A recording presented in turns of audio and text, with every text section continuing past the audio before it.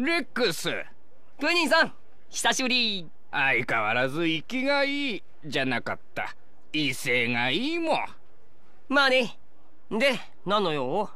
新しい仕事？まあそんなとこだもん。ところでレックスお前確かリベラリタス島諸軍の岩崎村出身だったもん。ああそうだけど。それが何か？すぐに会長室へ行ってほしいもんえ？なんで？